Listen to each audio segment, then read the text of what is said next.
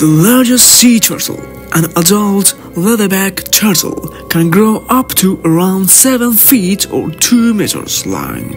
They are the largest sea turtle species and fully grown adults can weigh up to 2,000 pounds or 900 kilograms.